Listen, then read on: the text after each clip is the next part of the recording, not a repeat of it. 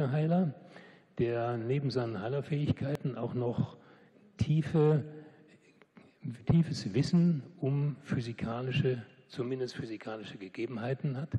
Er ist schon eine besondere Persönlichkeit. Renzo hat ein Verfahren entwickelt, wie man mit Licht, ja, ich sag mal, zaubern kann. Es ist eigentlich ganz einfach, aber es steckt eine etwas kompliziertere Physik dahinter. Ich will dazu nicht mehr sagen, ich kann da gar nicht mehr dazu sagen. Renzo, bitte, du bist dran. Hallo, guten Morgen. Eine Frage im Raum. Da war vorhin so ein schönes Schild, Handys bitte ausmachen.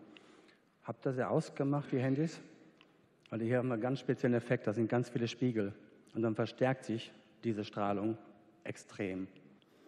Biophoton Alignment Mirrors und Light Kinesiology, so haben wir es getauft, sind entstanden in einem Moment des Hilfesuchenden und derjenige war ich selbst. Was war da geschehen? Ich gehe jetzt hin und habe einen Spiegel und da ist noch ein Spiegel. Was ist der Unterschied zwischen den Spiegeln? Ja? Das ist immer so die Frage im Raum. Es gibt da ganz verschiedene Qualitäten. Die Lichtkinesiologie ist eine Methode, die uns eine fast medizinfreie Medizin ermöglicht.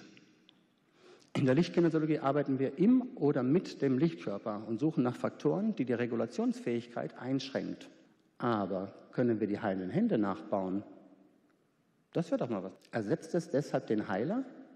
Nein, aber es macht uns zu besseren Heilern, weil wir haben eine neue Maschine bekommen, neues Werkzeug, neues Spielzeug.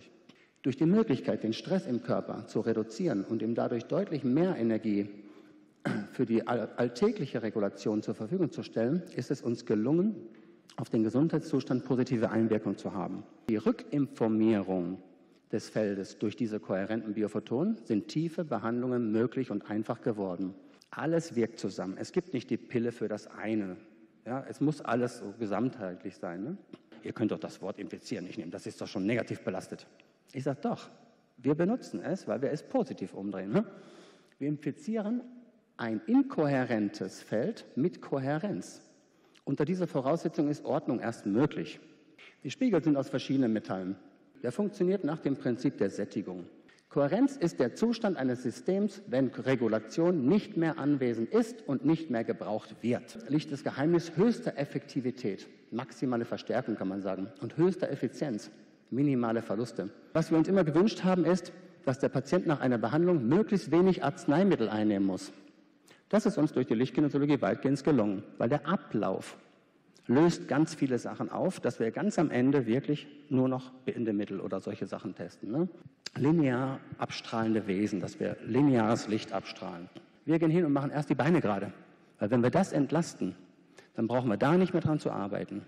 Bei der Erstbehandlung brauchen wir so circa zwei Stunden, Stunde 45, wenn wir gut sind.